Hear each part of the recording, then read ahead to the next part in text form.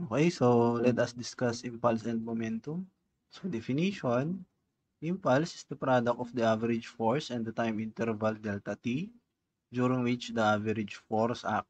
And momentum P is the product of mass and velocity V. Okay, so for this topic, uh, we are going to use impulse momentum theorem or this equation. So delta P here is the change in momentum. So from the definition of momentum, mass is the product of velocity.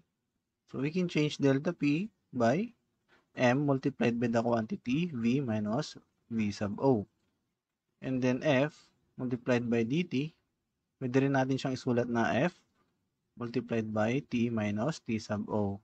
So imagine we have a body here with an initial velocity of v sub o moving towards the right. So assuming this is the starting point and this is the final position with velocity v and of course time t. Then this is your t sub o. So we also have the mass. Usually yung t sub o ay 0 kapag uh, yung body natin starting from rest, yung mga ganun. So nagkakaroon lang ng delta t kapag halimbawa merong given na time, say for example from 5 seconds to 10 seconds.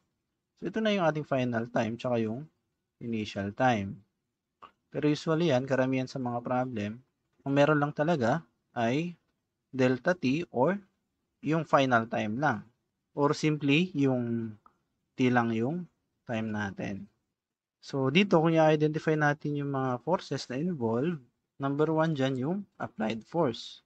And then, meron din tayong normal tsaka friction force. So, yung net force dito, yun yung summation of forces along the direction. So, aside from this equation, pwede rin natin itong gamitin. Which is, uh, actually pareho lang dito. Kasi unang-una, yung summation of x, yun din ay net force.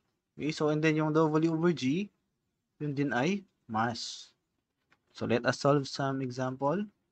So, first problem from the book of Ferdinand Singer, a 300 pounds block is in contact with a level plane whose coefficient of kinetic friction is 0.1. So, the first given, we have a weight, so 300 pounds. The second given is the coefficient of kinetic friction. Let us denote that as F sub K. Dun sa ating formula, saan papasok yung ating F sub K? Okay, so papasok yan dun sa ating friction force dito, which is equal to normal force multiplied by coefficient of friction. So, letter A, if the block is acted upon by a horizontal force, 50 pounds. Ito yung horizontal force natin, 50 pounds. So, pwede natin ilagay either dun sa right side or left side ng block. What time will elapse before the block reaches a velocity of 48.3 feet per second. Yung first unknown sa letter A, yung time bago ma-reach nung block, yung velocity na 48.3. So, assuming ito yung ating starting point, ito yung point kung saan maabot ng ating block yung velocity na 48.3 feet per second. So, ang hinahanap ngayon ay yung time. Okay, so let us denote that as T1 or from this point hanggang dito ay T1. Kahit hindi na natin ilagay yung T sub O, kasi automatic yun ay 0. Kasi nakalagay dito, starting from rest naman siya. Okay, so yun yung first unknown natin, T1 na lang. Yung letter B, if the 50 pound force is removed, how much longer will the block continue to move?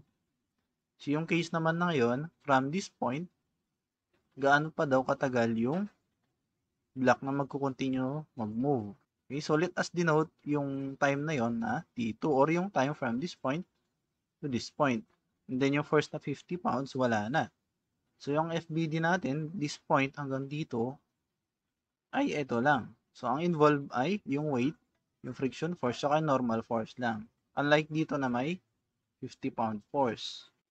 Yung friction force, denote na lang natin dito na F sub 1 Then dito, pwede i-denote na magkaiba yung ating friction force dito. Or magkaiba yung kanyang subscript. Pero since level lang yung plane natin, kung saan nag-slide yung block, at yung applied force dito ay horizontal lang din, So, pareho lang yung friction force dito sa dalawang to. Pero kung halimbawa, naka-inclined yung force dito, yung friction force dito sa part na to ay magiging iba dito sa part na to. So, let us denote na lang din na F sub 1 dito. So, ang gagamitin nating formula dito or equation ay pwedeng ito or ito. Yung summation of x kasi, yun din yung F net. So, ito na lang yung gamitin natin. Yung x natin dito, yun yung direction ng ating object. Kung ito yung ating object, pa kanan, so ilalagay din natin yung axis dyan. Pero kapag naka-incline yung ating body, or yung ating surface, ilalagay din natin dun yung x-axis. So, ngayon, yung x natin ay horizontal lang. Okay, so identify natin yung mga forces na involved. Again, dito sa letter A, meron tayong F1, tapos 50 pounds. So, yung F1 dito ay normal force multiplied by coefficient of friction. Yung normal force, masosolve natin by taking summation of forces vertical. So, let us solve first for the normal force for us to solve for the friction force. So, we will take summation of forces vertical or along y equal to 0. Assuming upward positive, so we have n, then minus w equal to 0. So, we have n equal to w which is equal to 300 pounds. So, ito pwede na natin ilagay dito sa F1 or doon sa N multiplied by F sub K. So, dito na lang natin ilagay mamaya sa summation of X. So, pwede na tayo mag-summation of forces along X.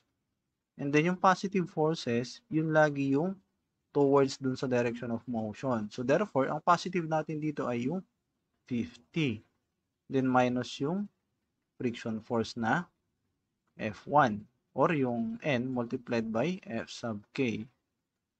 Then multiplied by our unknown. So this is T1 equal to W 300 over 32.2 multiplied by final velocity is 48.3 minus since we started from rest so this is 0.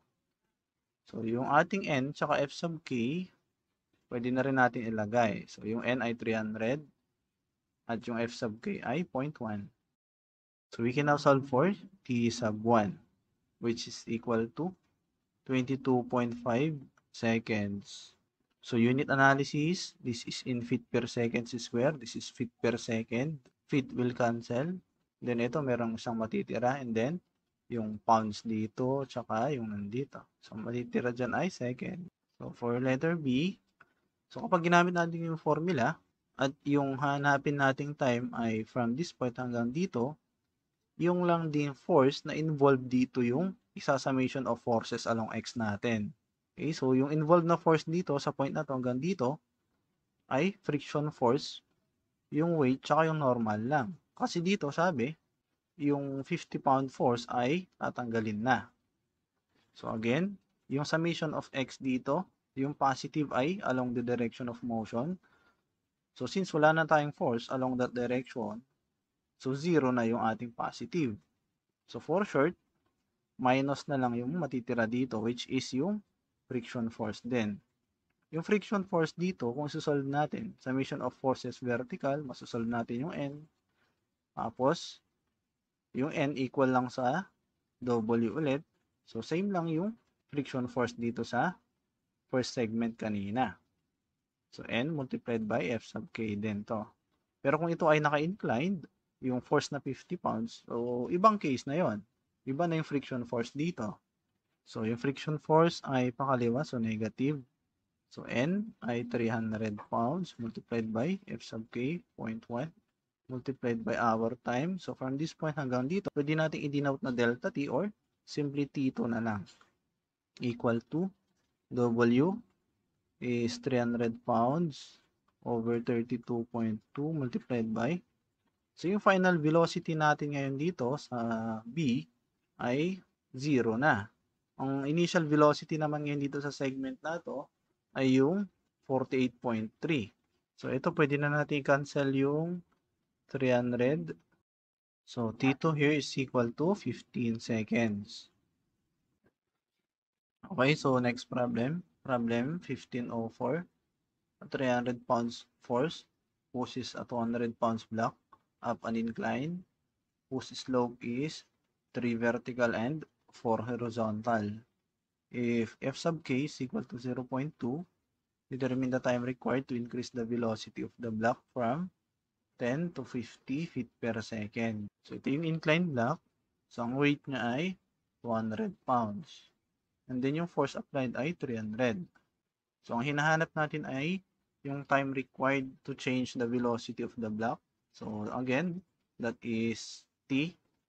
Or we can also use delta t. So, may initial tsaka final velocity na 10 tsaka 50 feet per second. So, yung direction of motion natin ay pataas dun sa incline. So, dito natin ilalagay ngayon yung ating x tsaka yung ating positive direction para dun sa mga forces ay pataas din. So, yung positive force ngayon, therefore, ay yung 300 pounds. And then, yung negative forces, syempre, yung friction force at yung component ng weight along x-axis. So, yung component ng W, so W sine theta or yung angle of inclination ng incline. Then yung friction force, again, normal force multiplied by coefficient of friction. Yung N, masusolve natin pagka nag-summation of forces along Y tayo.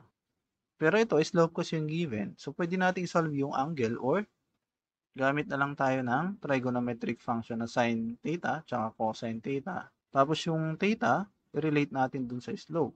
So, yung sine, alam naman natin, opposite over hypotenuse. So, sine theta ngayon ay 3 over 5. And then yung cosine, adjacent is 4.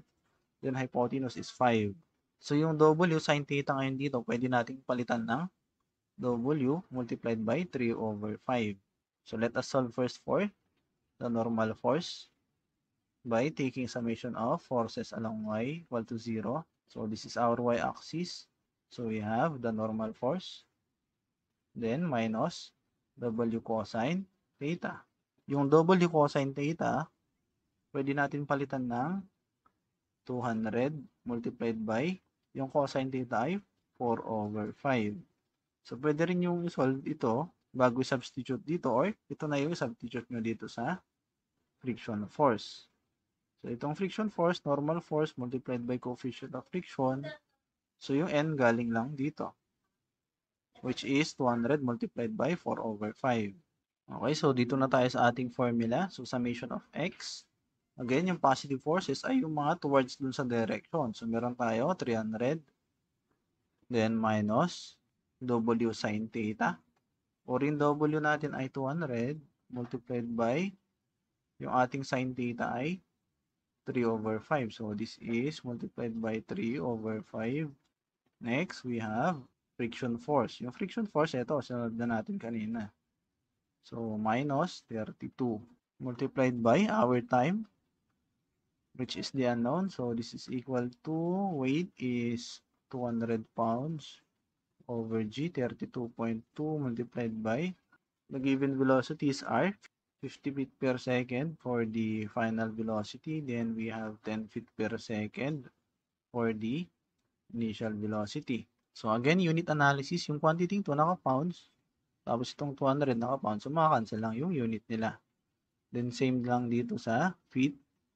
And then sa second, isa na lang yung matitira sa second. So ang unit ng time natin ay naka-second. So this is equal to 1.68 second. So we are done with our first subtopic. That's all for this video. Thank you for watching.